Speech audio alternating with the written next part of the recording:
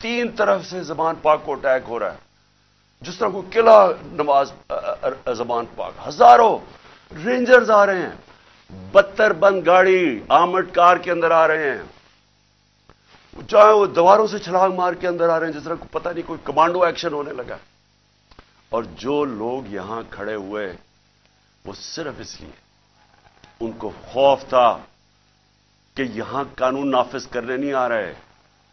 اخواہ کرنے آ رہے ہیں، یہ قتل کریں گے۔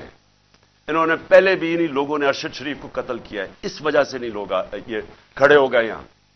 میں نے دو دفعہ ان کو کہا کہ مجھے اتنی زیادہ نفری تھی اور تھوڑے سے لوگ تھے۔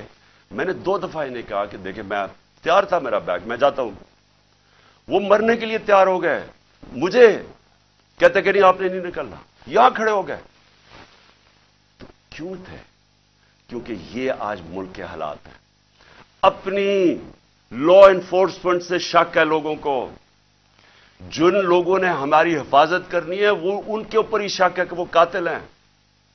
یہ خوف آ گیا ہے۔ اس لیے وہ کھڑے ہوئے